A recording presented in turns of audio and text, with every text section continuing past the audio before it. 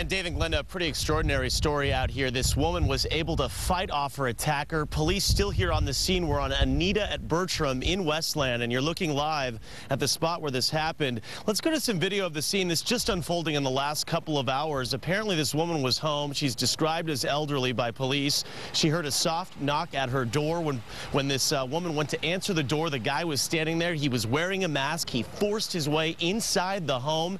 They struggled. She somehow fought fought him off. I'm told she's only about 5'1", retired school teacher, somehow forced her way out of the house, ran to a neighbor's to get help. Take a listen to what he had to say.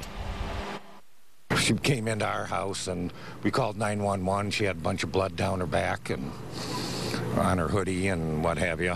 And what was, I mean, she must have been absolutely terrified. Yeah, she was. And we, so we just called 911. I came running outside to see if I could see anybody leaving. Anyone and was? Did you see anything? Anybody running nope. out? No. Did he have a weapon? Did she say? Or? Uh, yeah, she, he uh, told her that he had a gun.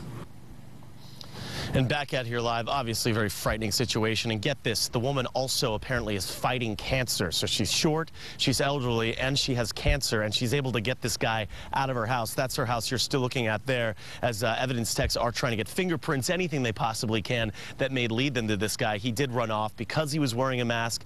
Really no description at this point. Reporting live in Westland, I'm Tom Waits, 7 Action News.